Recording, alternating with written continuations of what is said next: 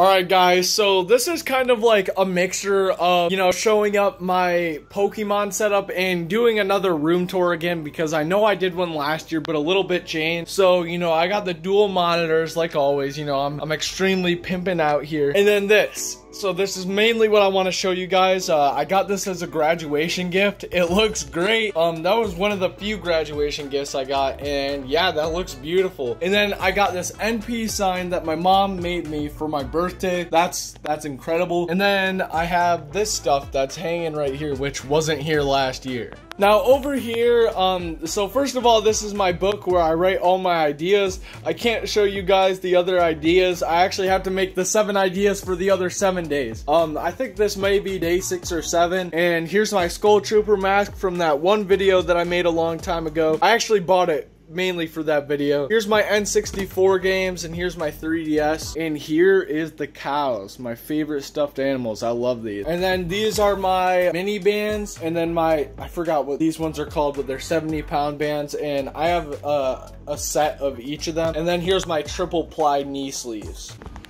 Now finally, here's for the Pokemon collection that you guys all waited for. Now, I love everything here. I actually made this ever since the first Pokemon opening video I put on this channel. And since then, I've gotten a lot. Basically, let me first start you off with this. So, you guys already know this. This was the first booster box I bought on my channel and opened up on my channel. And this is the first sealed product I ever owned. Um, it's crazy that I got this sealed and it was only $12. The shit is at it wasn't worth it, guys. It really wasn't worth it. And here is two Cosmic Eclipse booster boxes. This one's open. I've opened up five packs from here already. I had my cousin open her first packs ever. We actually opened them last night. And then this baby's sealed. And then this is just a stack of cards I have nowhere to put. And then these are a ton of uh, trainer cards and energies. I haven't put in my book yet, my, my binder, which we, we will get to that. We will get to that. And then next up is this tag team Darkrai and Umbreon box. So the story behind this is I actually this is $50, which is a ripoff by the way. You get eight booster packs, which comes out to $32 and then four promos. Yeah, that's really not worth $50. And I actually got this for $20, which if you put it in that way, that was that was very worth the price. Oh crap, shit. What did I do? Oh, there we go. There's the exposure. Time for this. This is my Japanese CD. It's a music thing. It It's what comes with the Japanese CD promos, which you'll see later on. Yeah, that that's just what that is, and that came with that too.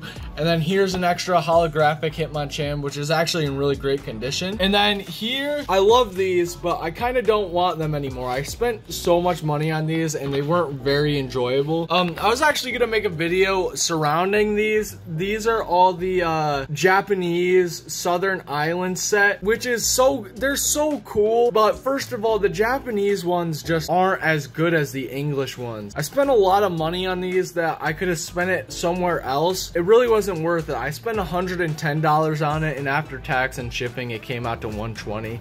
In my opinion, um, Southern Islands Japanese just definitely isn't worth it. Um, I love the set but it just wasn't worth it. Now next up, I have my 1999 Pikachu playmat. I love this thing. Yeah, I play on it whenever I actually play the TCG. And then here is a ton of top loaders with any modern cards that I've gotten so far. I, I actually just ordered a binder for these. Uh, this is just a random Arceus from Platinum Series. Yeah, these are all in the order from when I pulled them. So a lot of these are either pulled from or from boxes like this one. And also guys, something I'm doing with uh, these booster packs, I'm opening up two booster packs per week, right? So what I'm gonna do with the booster boxes is originally going to um, open up one of the booster boxes for the last day of 14 days in Nerdperior. And I just realized I didn't wanna do that. Cracking open a booster box and opening it all in one day or two days is just not the way to go. It's not how you enjoy a booster box. So what I'm doing is I'm no longer opening it up for 14 days in Nerdperior. And what I'm just gonna do is I'm going to just, I'm gonna open up two packs a week, one on Thursday and one on Sunday, and then I can choose to do whatever, either it's save it up or open it then and slowly add to my collection from there because I have a modern, the binder that's coming in is for a modern, everything modern. So like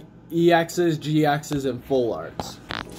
And these babies right here, this is like, I think $700 worth of cards I have not opened up yet. I won't show tell you what guys what it is because it I haven't I want to record a video on it. And by the way, guys, uh, you're going to see some cards that I've ha I have opened but you haven't seen them on the channel before. And that's because a lot of them is I wouldn't deem those openings worthy of the main channel, which I will upload them unedited to my second channel. So, uh, my second channel will be linked in the top link of the description. Now, it's time for this baby. My favorite thing on earth, my most prized possession. So getting this binder was so awesome. Um, I wanted this binder instantly when I saw it and it's so beautiful. It's such a good deal. Got it for $25. And then let's open it up. So here is all fossil set. Here are my holographics. I have every card from this set.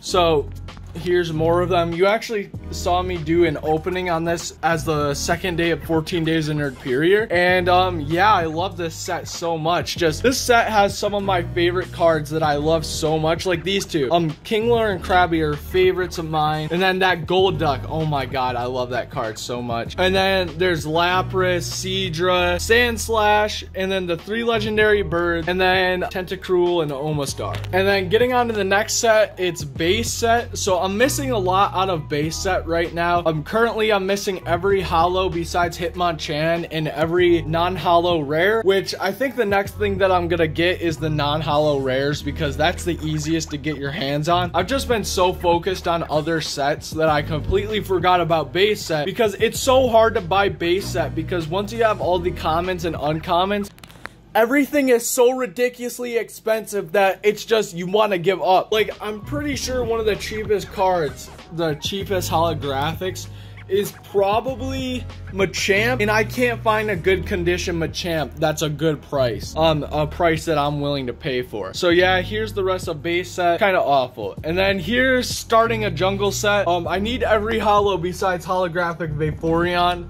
And then here's the rares. This is the second set I'm closest to completing. I'm not to say the other set because I'm actually that a lot of that set is right there. So yeah, here's Jungle Set, some great artwork. I love that Persian artwork so much. Jungle Set just has some great pulls. Like this Marowak is a is a uncommon. Also, there I have all my commons and uncommons in this set are all in first edition. And um, I also have the first edition error card Butterfree. And there's my Primeape, I love that band. And then here's the Venomoth and then the Evolutions. They're all in good condition cards right now. Some have scuffs on the back like not most, most of them don't, but um some do. And then here is the rest. I love this card so much. Snorlax is the jungle set. Snorlax is iconic in my opinion, and so is the uh so is the where where is it Scyther. And then now here's my some of my favorite cards. My birthday uh Pikachu. This is I spent like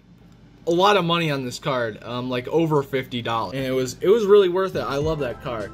And then this is the first card I got in my collection, Southern Island Togepi, which the English Southern Island cards are so amazing, but oh, it just sucks. And then I got the Mew promo, it's the non-holo version, and then these cards. These cards cost big money. Um, I will actually upload the opening of these on my second channel, uh, because these were a part of it. But these are the CD promos that came with this Pikachu. And yeah, they're pretty great. And here's the other promos. These are also the two CD promos that also come with it. This is just another Japanese promo. But I really realized that I really don't care about promos and I don't want them in my collection. So yeah, I'm not ever gonna collect Japanese cards ever again. Besides these three Japanese cards, I love these cards. Anyways, guys, if you did enjoy this video of my, you know, Pokemon card tour, Pokemon collection slash room tour, make sure to leave a like and, you know, comment some stuff that you have in your collection because I think I have some cool things, but not the coolest. But yeah, day six of 14 days of Nerdperior. I'm starting to have that mental breakdown. Um, anyways, guys, thank you so much for watching. I love you all, and I'll see you in the next one. Peace.